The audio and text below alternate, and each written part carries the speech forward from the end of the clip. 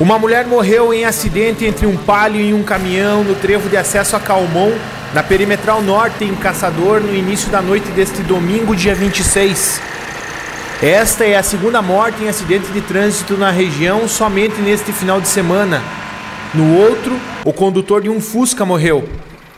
De acordo com informações do motorista do caminhão, ele seguia no sentido trevo da Transrodace quando o Palio, que vinha no sentido contrário, parou na pista para ingressar para Caçador.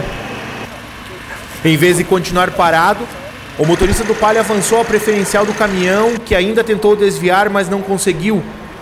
Jandira de Souza morreu na hora. O motorista Ademir Ribeiro de Souza ficou preso às ferragens e foi retirado pelos bombeiros voluntários de Caçador em um trabalho que durou cerca de meia hora.